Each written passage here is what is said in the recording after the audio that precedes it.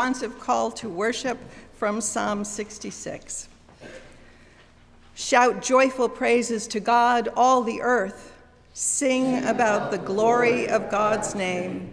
Tell the world how glorious is God. Say to God, How awesome are your deeds! Everything on earth will worship you. They will sing your praises, shouting your name in glorious songs. Come and see what our God has done, what awesome miracles he performs for people.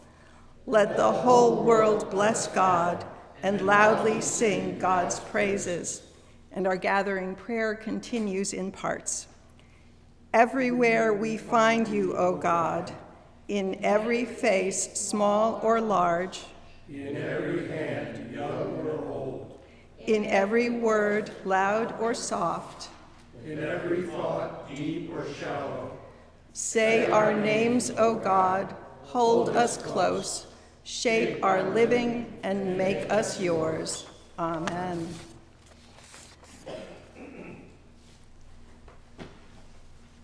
children's message this morning, I didn't have to really remember to bring anything special with me. Outside of the Bible, which I always bring with me in case I, there's a sudden glitch with the lector and, and we need a Bible up here with the lessons read.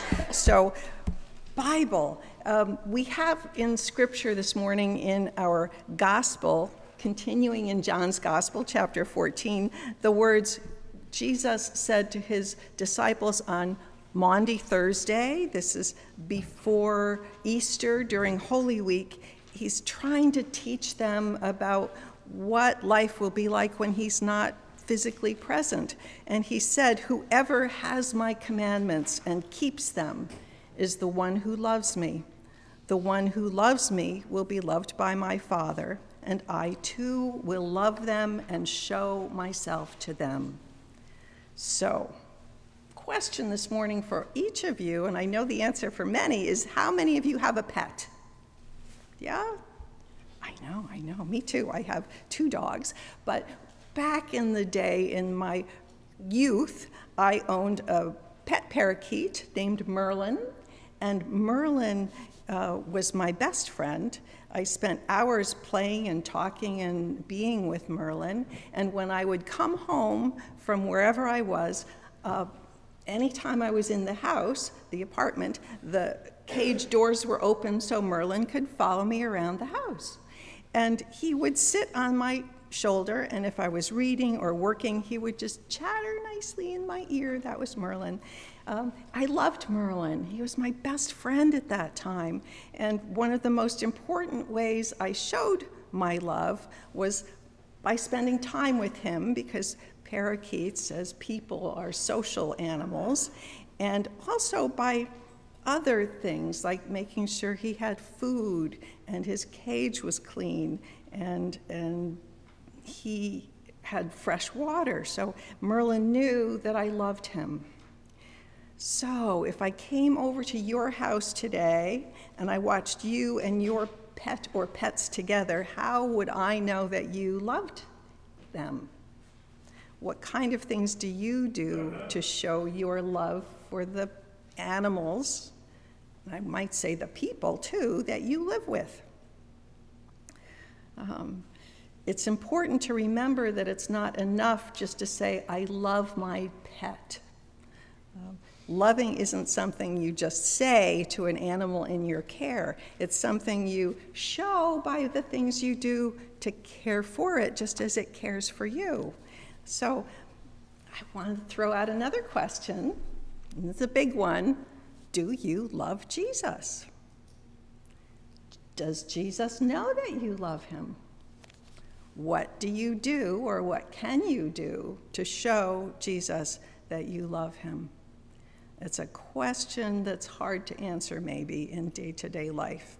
Um, but in today's gospel, Jesus gives his disciples the answer to that question. And I just said it at the very beginning. If you love me, then you will follow my commandments, do what you're supposed to do in the world, to um, take care of one another, to pay attention to God, what is holy in your life, and to love your friends and your neighbors just the same way you love yourself.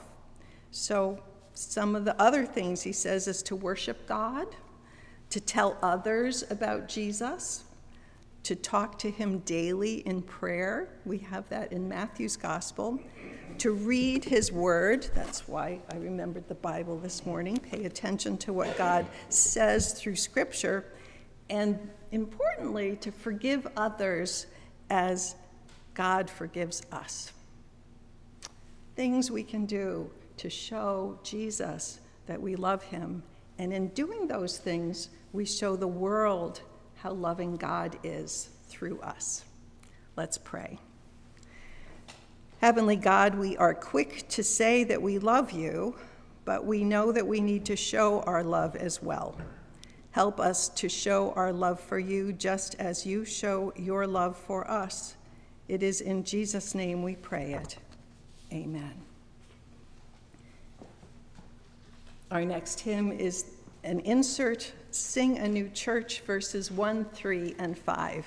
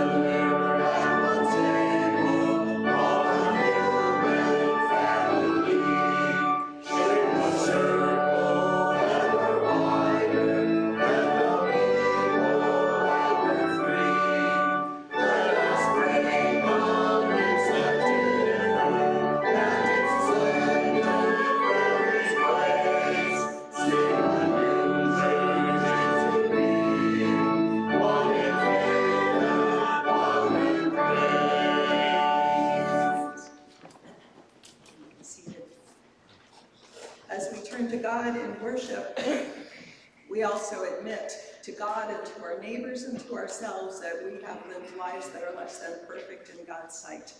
But confident of God's willingness and readiness to forgive us, let us join our voices together in the prayer of confession printed in our bulletins. Forgiving one, unseen yet known, we hear the world speak in power and in greed, and we hear you speak in love and grace.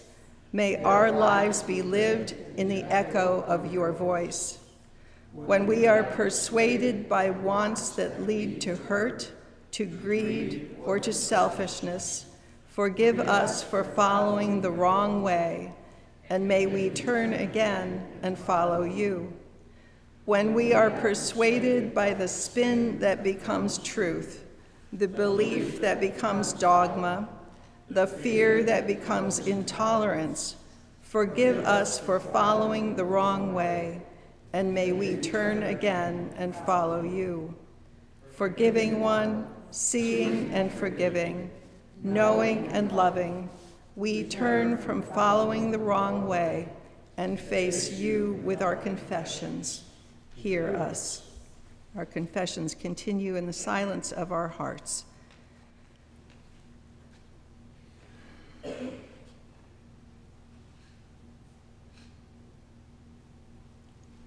Lord, you know our truth, and we count on you to forgive us. Amen.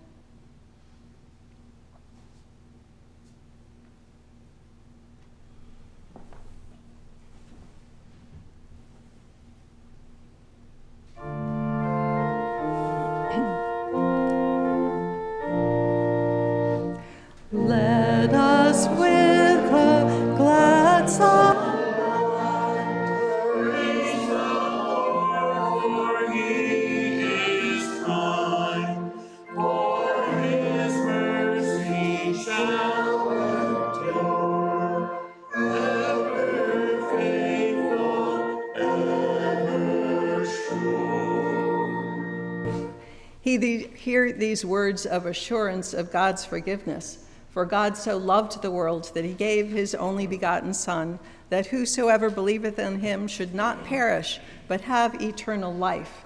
For God did not send the Son into the world to condemn the world, but that the world through him might be saved.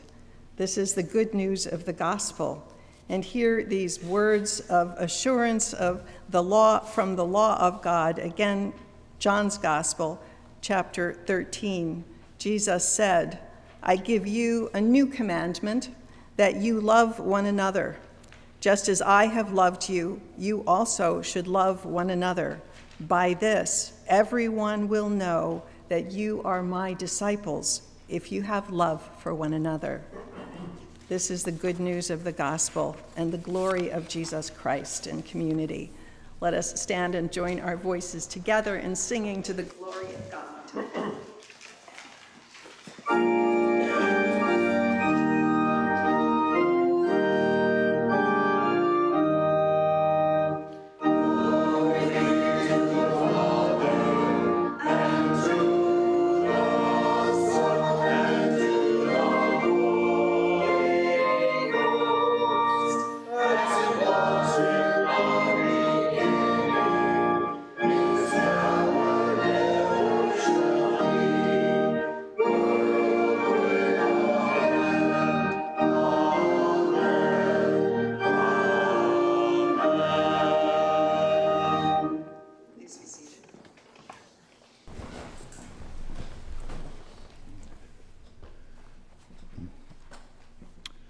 us pray. Heavenly Father, we thank you for the inspired word which shows us the way. May the hearing of your holy word this morning be that lamp unto our feet and the light unto our path. It is in Jesus' name that we pray. Amen. From the book of Acts, Paul speaking at Athens. Paul then stood up in the meeting of the Areopagus and said, People of Athens, I see that in every way you are very religious. For as I walked around and looked carefully at your objects of worship, I even found an altar with this inscription To an unknown God. So you are ignorant of the very thing you worship, and this is what I am going to proclaim to you.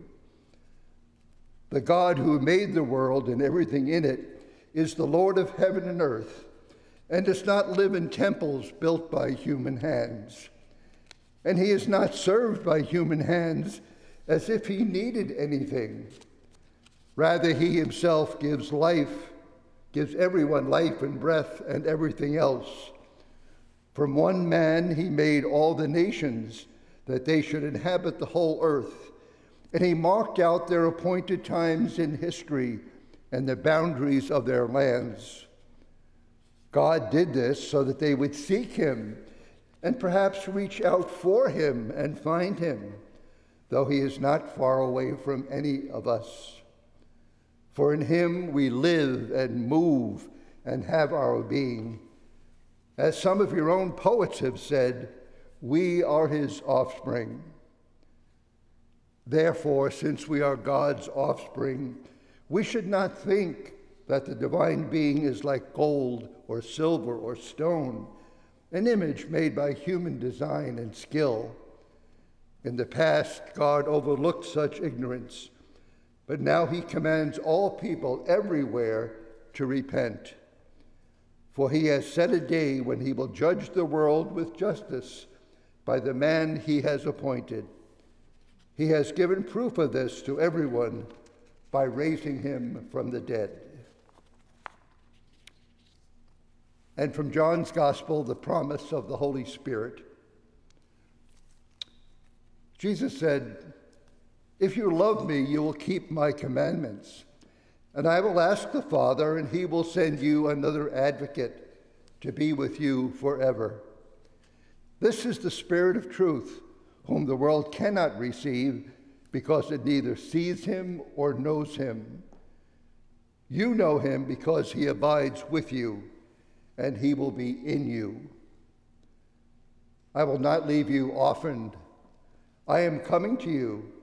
In a little while, while the world no longer will see me, but you will see me because I live, you also will live. On that day you will know that I am in the Father, and you in me, and I in you. They who have my commandments and keep them are those who love me, and those who love me will be loved by my Father, and I will love them and reveal myself to them. This is the gospel of Jesus Christ.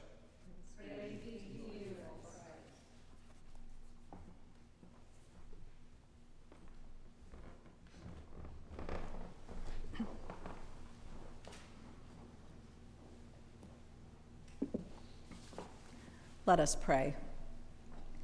O Lord, may the words of my mouth and the meditations of our hearts be acceptable in your sight. O Lord, our strength and our salvation. Amen. Well, whew, we have Paul and we have Jesus. We have two iconic passages this morning, and it's Mother's Day. What to do? Uh, dedication to worshiping the right God, right God, in the right way has wreaked havoc and terror and destruction among people probably since forever. Uh, all of human history would be my best guess. Paul visits Athens on his second missionary trip, and he spends some time getting a sense of the town itself. It's clear he's traveled around and looked and assessed it. He checks in with the diaspora Jews, those who are in exile from, from Israel, in the local synagogue first and he gets a reputation around town for preaching some pretty oddball religious stuff that gets him an invitation to speak with the Areopagus. That's the group, the area in the marketplace where religious and philosophical debate goes on by the kind of learned folk. Four centuries have passed since Socrates stood in that place with his debates, the Socratic method of teaching, etc. Um, 20 centuries have passed from Paul's time until now, and human beings, frankly, are still engaging in that same dialogue, oftentimes in violent ways. Is there a God? Is the question big one in theological circles since the 70s, that iconic book that uh, is titled God, The Death of God, and all the ones that followed God is Dead, in the Vietnam War, and post World War I and World War II. Questions, questions.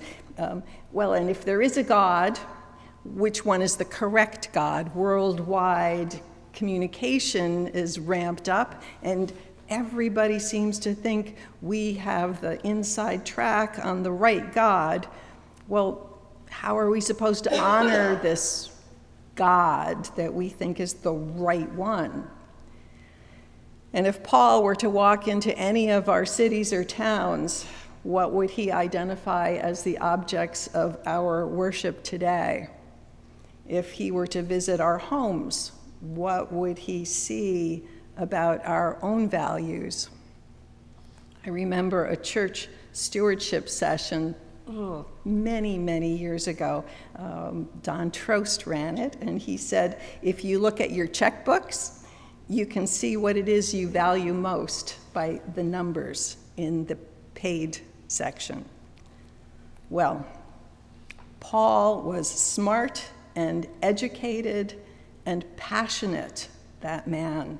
He includes a quote from the Greek poet Epimenides in that passage that we just heard, four centuries old uh, poet. Uh, uh, I'm sorry, six centuries old. He was a semi mythical, we don't really know much about Epimenides. Um, he was a philosopher who is said to have, and this is a familiar story having grown up in the Hudson Valley, who is said to have fallen asleep for 57 years in a Cretan cave sacred to Zeus, after which he reportedly awoke with the gift of prophecy and poetry. And he wrote, In him we live and move and have our being. He's talking about a poem that's about Zeus. They fashioned a tomb for thee, O high and holy one. The Cretans, always liars, evil beasts, idle bellies. But thou art not dead. Thou livest and abidest forever. For in thee we live and move and have our being. The lie or the false belief of the Cretans that he was writing for was that Zeus was mortal. Epimenides considered Zeus to be immortal. So there's a thread in a divinity, a saving grace that's larger than our life that goes easily in recorded history six centuries before Paul. So, at first, Paul is trying to woo those uh, educated Greeks in that marketplace by showing that he too was a man of letters um, that was okay for starters, but he had to go further, or was there was just no point in his being there at all. He had to make his testimony to the fact of the risen Christ in order to make a point of the personality, the reality, the presence of the one living true God in the world. Um, so, how we do that, how we do that, defines our God to the rest of the world. How we live our life tells a story of the God we profess to follow. And that's our challenge today as individuals, I think, always in our culture, but also as a community of faith, again, in this culture. Um, Bishop John Shelby Spong, a late wonderful theologian from the Episcopal tradition, observed in his lecture, God in the 21st Century. He wrote, You cannot define God, you can only experience God. And we have been trying methodically through centuries of religious thought to define God so that everyone understands the right way. Uh, the God that Jesus experienced and proclaimed is the same God that we profess to experience personally through the life and death and resurrection of Jesus Christ himself. But there's so much more to it than that for each one of us in our own lives. Uh, Fred Buechner, a, a Lutheran minister, observed We experience God in three ways as something beyond, as something among, and as something within. The wonderful womanist author and philosopher Alice Walker wrote in her book, The Color Purple, again, another iconic book in the 70s. Um, she wrote, Have you ever found God in church? I never did. I just found a bunch of folks hoping for him to show. Any God ever felt in church, I brought in with me. And I think other folks did that too. They come to church to share God, not find God.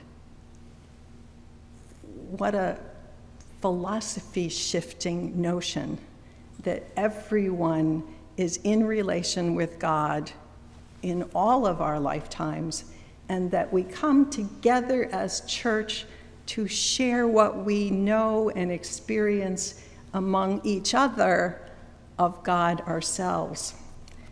Cosmic concept in religious circles. Jesus lived and died and lives again to share God to people.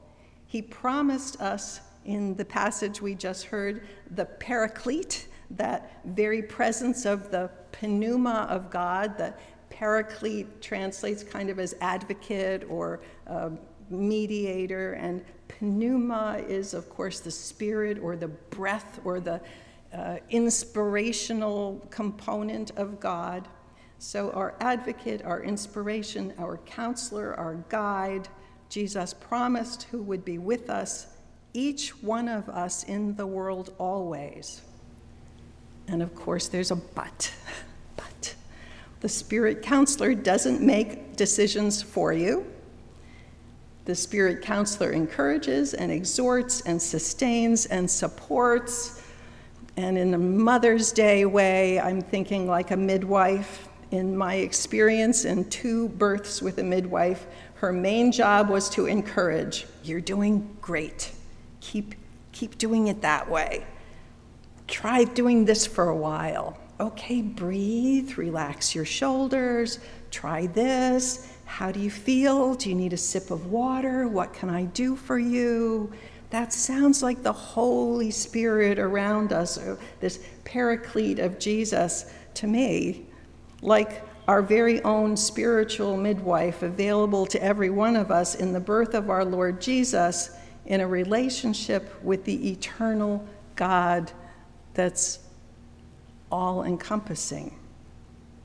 So, what is this spiritual midwife of?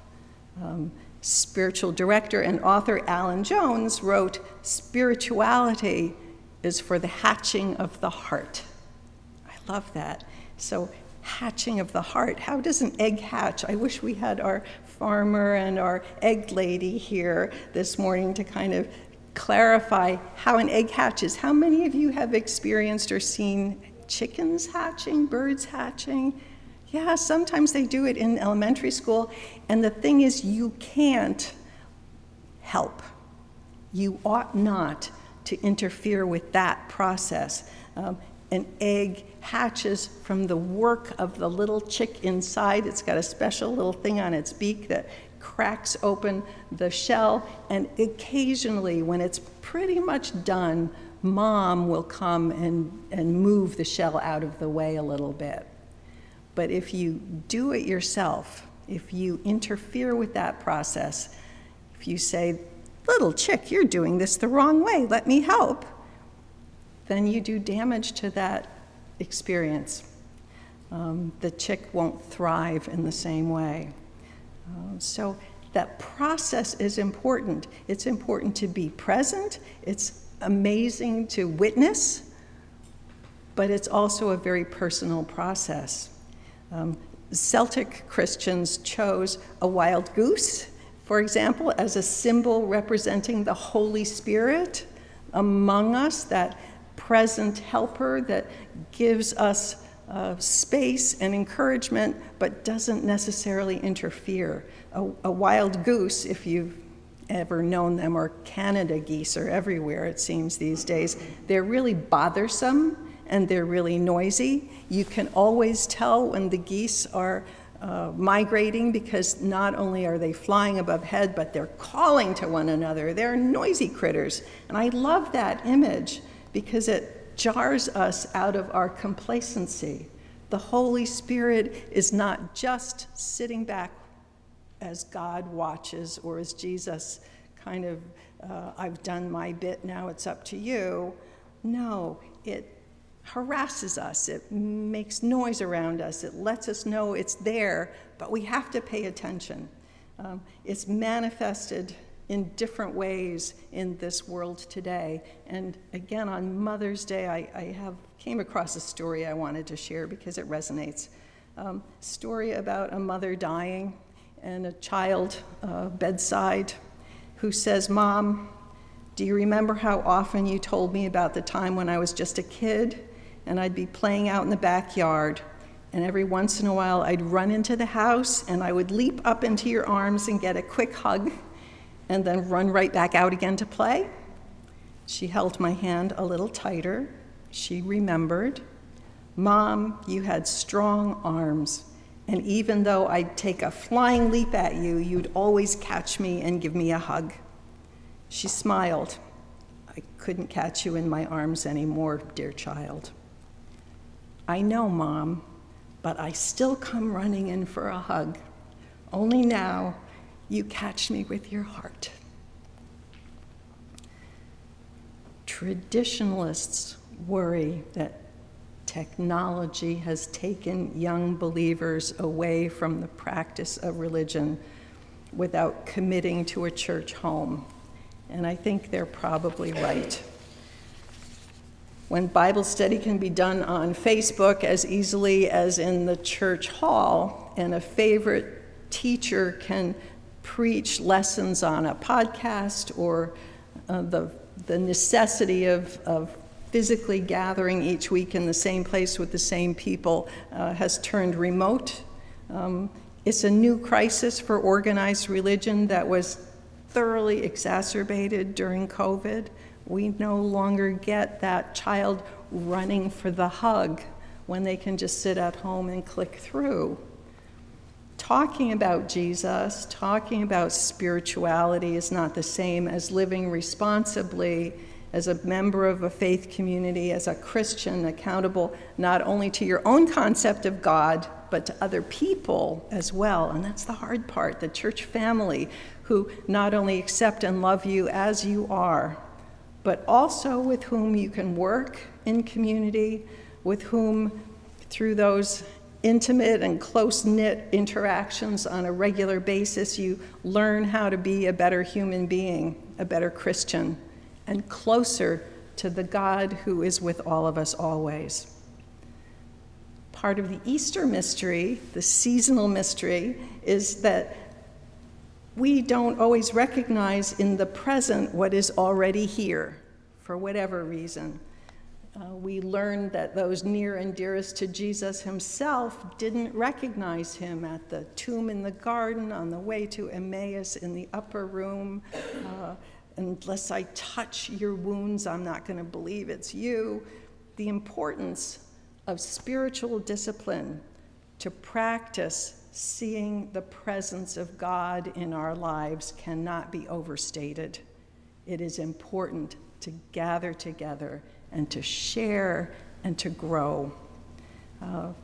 Quick example Helen Keller, many of us know the story of her. She's still an iconic story, I hope, taught in elementary schools, born uh,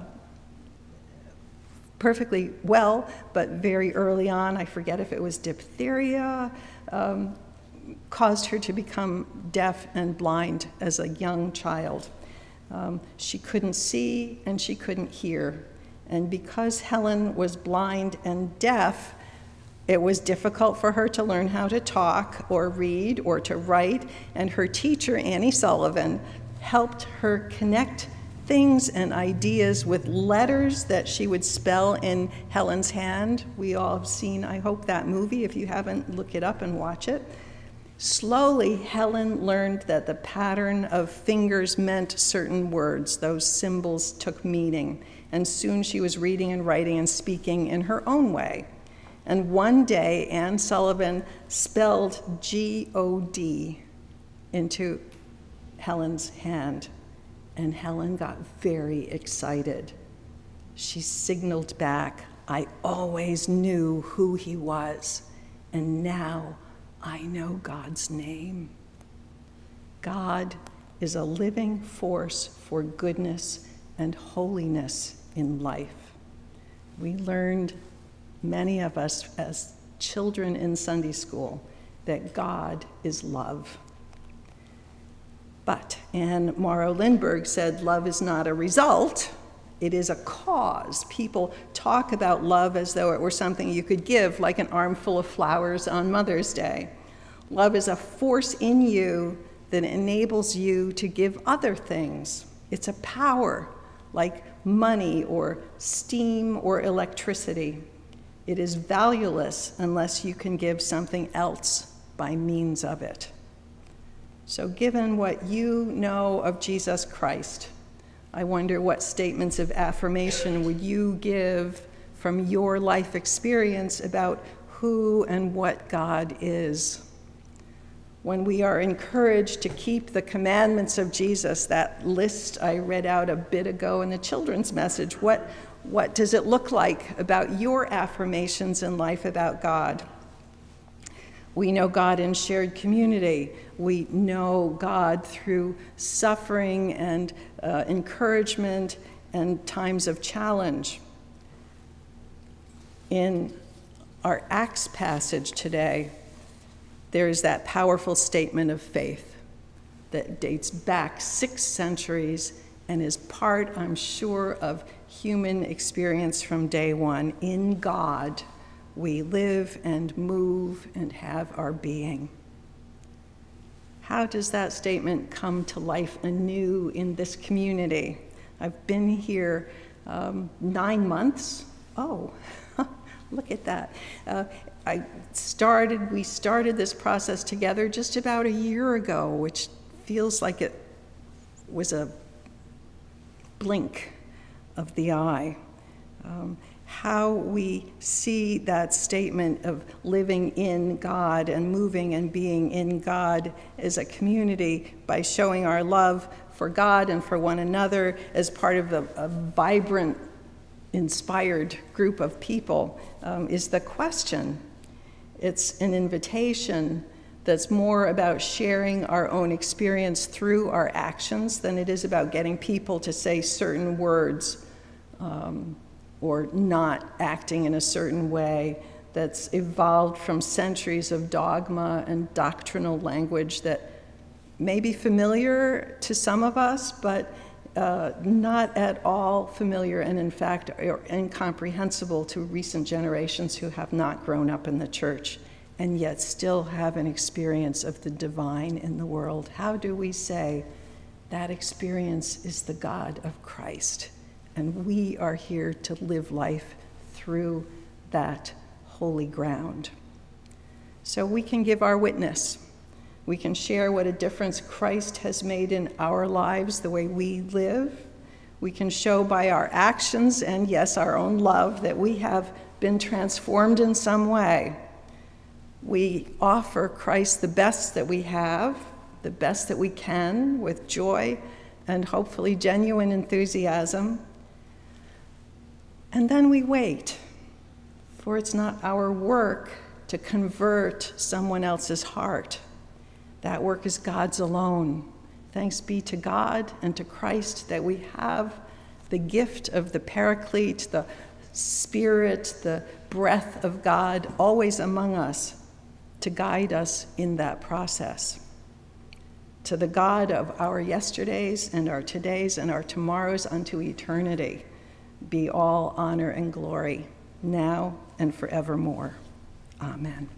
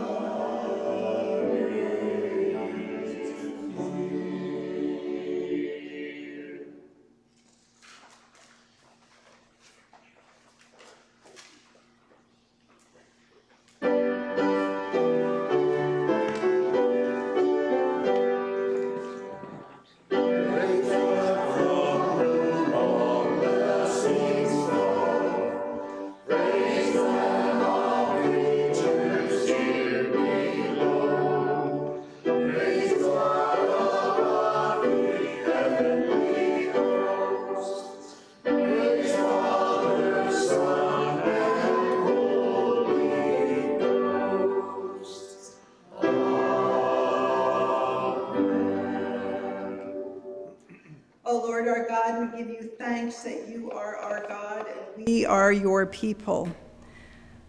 Generous God, we bring you these gifts because we know that our life and all human life rightfully belongs to you and that everything we have we hold in trust from you. We praise you for everything you have done for us in Jesus Christ. Help us, therefore, to make our own offering complete by living in obedience to you through the same Jesus Christ our Lord and by the grace of the Holy Spirit we ask it. Amen. Please be seated.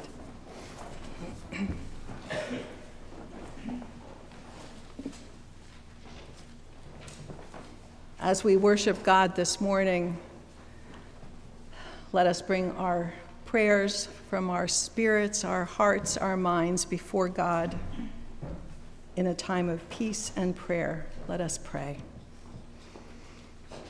Father and mothering God, Jesus addressed you with the familiarity of a child to a loving parent and modeled that kind of trusting reliance on you, our Creator, so that we might have a role model for our prayers and relationships.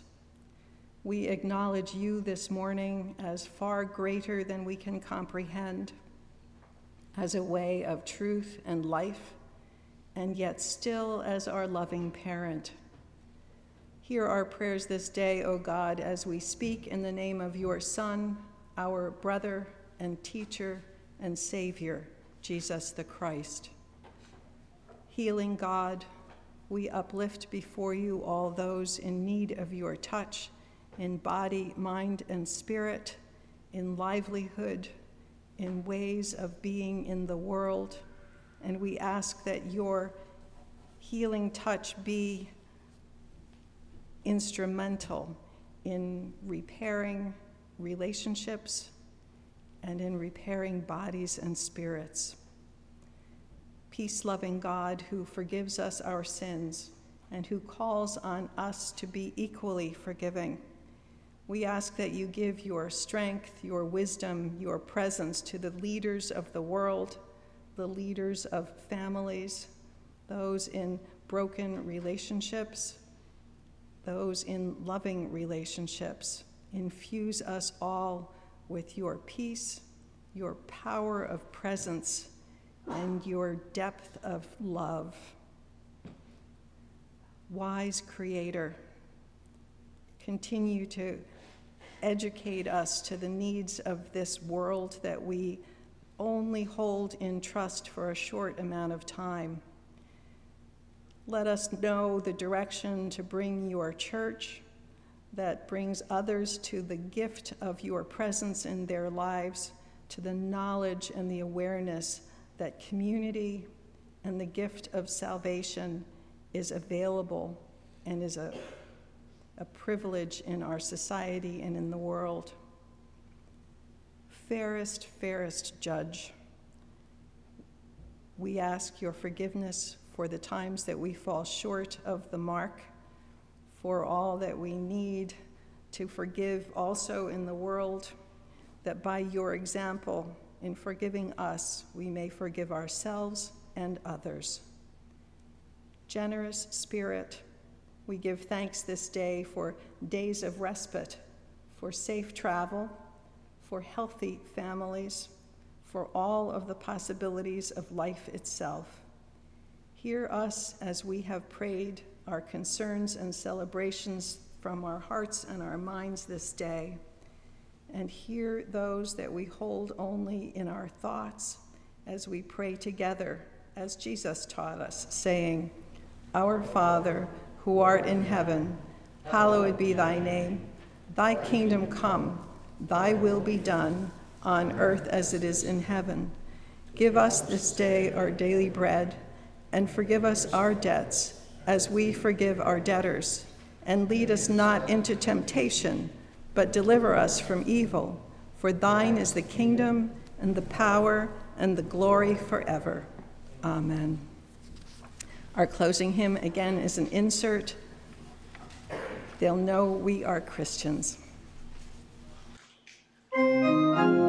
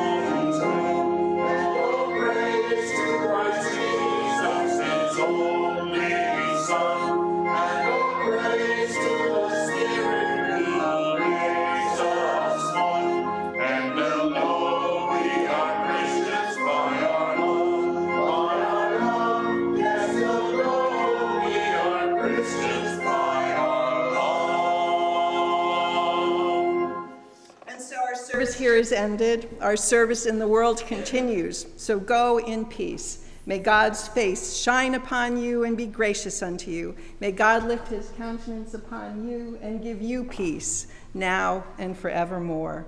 Amen.